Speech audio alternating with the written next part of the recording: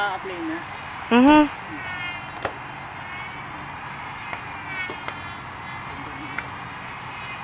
Din. Saan?